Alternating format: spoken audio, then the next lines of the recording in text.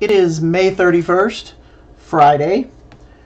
On just a recap, on Tuesday I got the crown put on my tooth, permanent crown. However, because I was still having some uncomfortable pain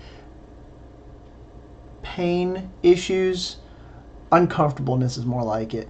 Uh, he decided, the dentist decided he was going to put a temporary glue on, so if they needed to, they could pull it right back off, um, as opposed to putting the permanent on, and there is no way to get it back off except to break it off or pull my tooth out. And he said they could drill through it if they needed to, but. So, anyway, we're going to do that. He said he's going to leave that temporary on there for about a year, and then a temporary glue, and then we'll kind of go from there. Um, see how it goes. So on Tuesday was the beginning of my fast. Tuesday, February, February, Tuesday, May 28th was the beginning of my fast. I actually, on about 2 o'clock that morning, I ate a bowl of ice cream, and that was the last thing I ate. Now, the previous weekend, you know, Friday, Saturday, Sunday, or Saturday, Sunday, Monday, excuse me, because it was Memorial Day, I, um, we were in Marion at the in-laws house and she cooked a lot of food the whole weekend. Usually usually she doesn't cook that much and this weekend she just happened to cook very good meals on Saturday night, Sunday night and Monday. And so I was slam full the whole time. So anyway, I'm going to give you my numbers here.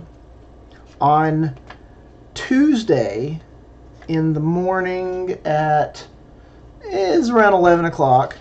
My I weighed 210 pounds. So so I weighed 210 pounds. I checked my blood sugar and it was at 113. And that was at 11 in the morning. Actually, it was 12 because this thing is an hour off. So it was 12. I weighed myself at about 11. Um, then on Tuesday, I checked my blood sugar and it was at, and this is after a day of only drinking water.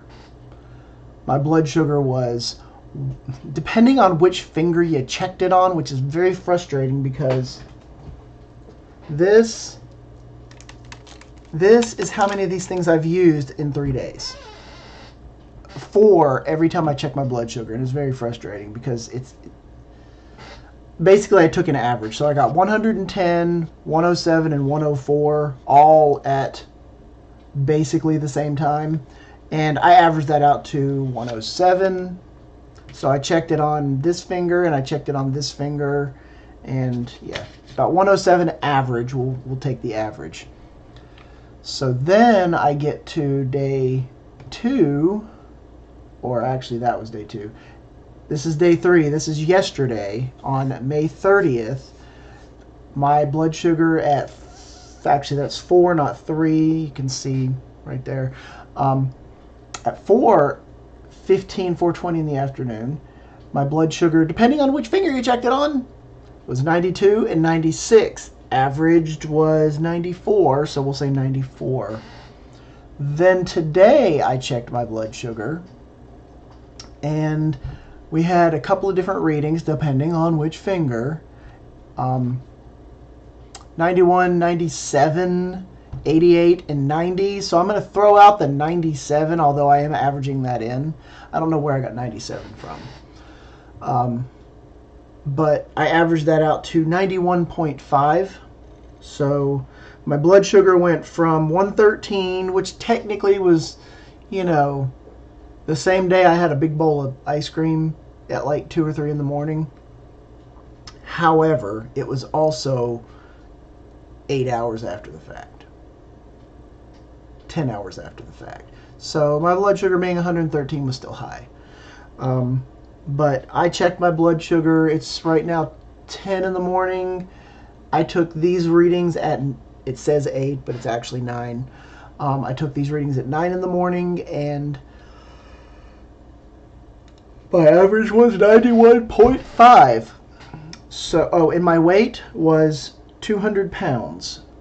So I went from 210 pounds at 113 blood glucose level to uh, 200 pounds at 91.5 blood glucose level with a three full days, and I'm still working on day four.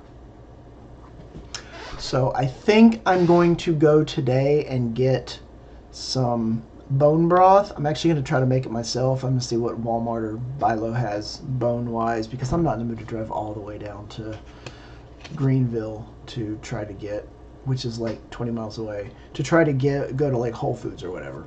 So I'm going to just see what they have at Bilo and try to make some bone broth from that.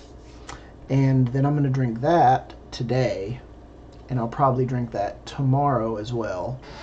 Until in the afternoon, we're going to go eat a hamburger with a friend tomorrow. So I'm going to get some food in my stomach later today, and then I'm going to eat tomorrow. So it'll be a full on fast until I actually do the bone broth, and then after that, it's going to be liquid beef broth probably, and not store bought stuff. Like I'm actually going to make it, and then we'll see from there. So right now, hopefully, I can keep my numbers at this because we have our. Uh, what time is it? What day is it? It's June. June what? No, no, no, no. Okay, our floor health screening for insurance purposes and whatnot for the following year is on June 19th. So I have until the 19th to make sure that my levels are sort of leveled off because before this week in the fast, I haven't been checking my blood sugar and I, I know it's gotten kind of high. I drank a little bit of beer, or maybe more than a little bit, but not a lot.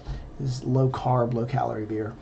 But um, yeah, I haven't been checking it. I haven't been eating the greatest, but we're going to see what I can do just in this month. Two and a half weeks. Three and a half weeks. No, it's two and a half weeks. Yeah.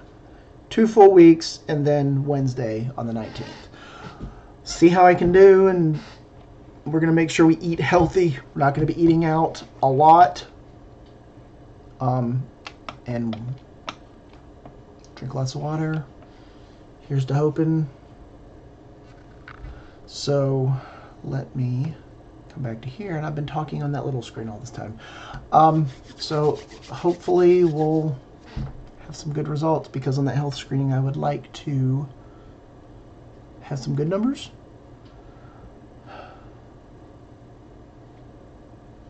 And I'm going to start some light exercise regimen every day, probably starting on Monday once I get some food back in me because I haven't been, man, I'm getting to the point where I'm just, if I get up and I walk up and down the stairs, I'm just like, whoo, I am dizzy.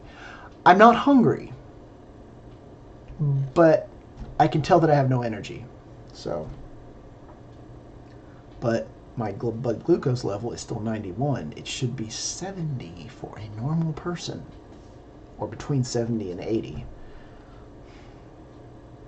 We'll get there. Until then,